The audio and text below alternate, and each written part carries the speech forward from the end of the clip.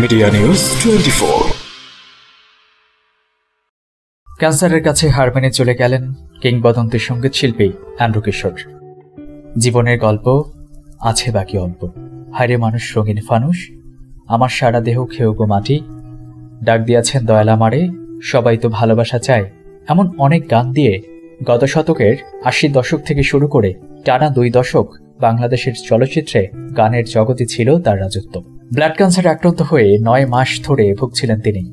বিদেশে থেকে চিকিৎসা নিয়ে ফিরেছিলেন রাজশাহীর চিকিৎসক বোনের বাড়িতে। সোমবার সন্ধ্যায় তার মৃত্যু হয়। তার মৃত্যুতে ভার্চুয়াল জগৎ জুড়ে শোকের ছায়া নেমেছে। হায়রে মানুষ, রঙিন ফানুষ দম ঠুস।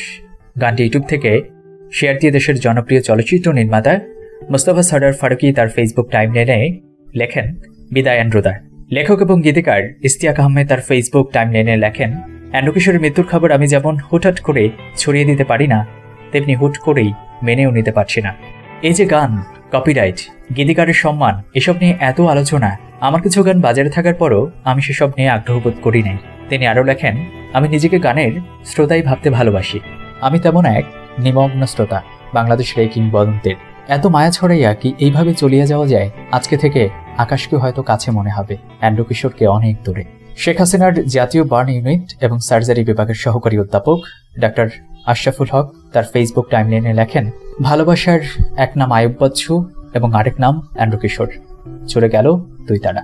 অ্যান্ড্রু কিশোরের শোকের ছায়া নেমে এসেছে পার্শ্ববর্তী দেশ ভারতেও। ভারতের মানুষ যে অ্যান্ড্রু কিশোরকে প্রচণ্ড পরিমাণে ভালোবাসেন, বিভিন্ন মন্তব্যে তারই প্রমাণ দিয়েছেন তারা। প্রিয়ন্তী ঘোষ নামে একজন মন্তব্য করেছেন, অ্যান্ড্রু কিশোর শুধু বাংলাদেশের সম্পদ নয় পুরো বাঙালির সম্পদ তিনি সেই কৈশোর থেকে তার গান শুনছি আমরা।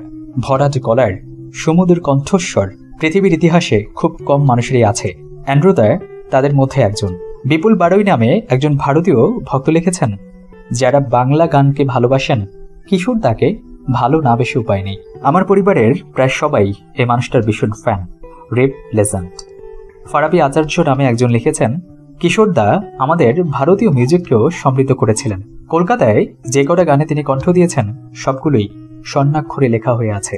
কিন্তু আফসোস, আমাদের মিডিয়া এই কিংবদন্তিকে নিয়ে কোনো ধরনের পোস্ট করেনি এখন পর্যন্ত। এরকম হাজারো মন্তব্য এসেছে ভারতীয়দের কাছ থেকে। বলা হয়ে থাকে উপমহাদেশের সবচাইতে ভাগ্যবান শিল্পী বলা হয় অ্যান্ড্রো কিশোরকে, যে কিনা আডি বার্মানের সুরে গান গেয়েছিলেন। বলিউডে নিয়মিত হবার সুযোগ পেয়েও দেশের টানে প্রত্যাখ্যান করেছেন সেই সমস্ত অসংখ্য অফার। খুলনার হেলাল আহমেদ নামের একজন ফেসবুকে কমেন্ট করেছেন, ছোটবেলা থেকেই আমি বাংলা সিনেমার ফ্যান আর সেই সঙ্গে বাংলা ছবির গানের পাগল ছিলাম আমি। ছোটবেলায় যে গানগুলো আমি শুনতাম, তার বেশিরভাগই গানের গায়ক ছিলেন অ্যান্ড্রু কিশোর। সে যুগে আলমগীর, সালমান শাহ, ওমর সানি, বাপরাজ সহ অনেকেই অ্যান্ড্রু কিশোরের গানের সাথে ঠোঁট মিলিয়েছে। বাংলাদেশের কিংবদন্তি গায়ক অ্যান্ড্রু কিশোর।